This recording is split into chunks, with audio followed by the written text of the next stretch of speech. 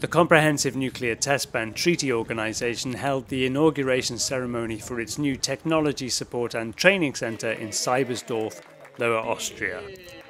The building was constructed specially for the CTBTO and will serve as a multi purpose facility hosting equipment storage and maintenance, as well as being used for workshops, seminars, and training courses.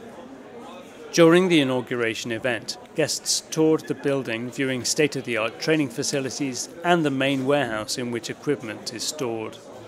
The new facility brings an integrated logistic platform for everyone in this organization to come for the sustainability of the network and also the build-up of the verification regime.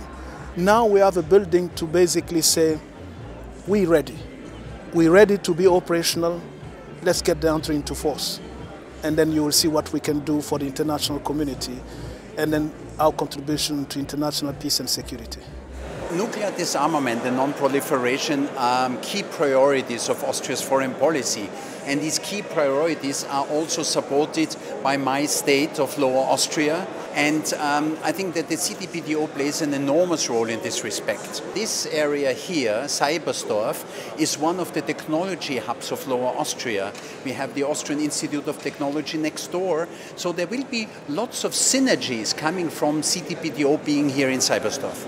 In the 22 years since the treaty was opened for signature, the CTBTO has steadily increased its preparedness for when the treaty comes into legal force.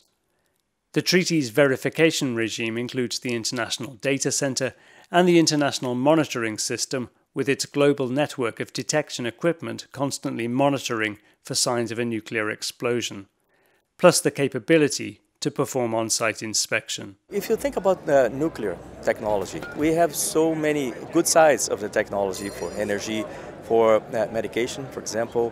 What we don't want is to create weapons. When you see from space, our blue planet, uh, our beautiful blue spacecraft with 7 billion crew members. And if, if you think about this, we have to take care of our spacecraft and especially for the next generations. So, what we want to our kids, which kind of planet we want to, to leave to them.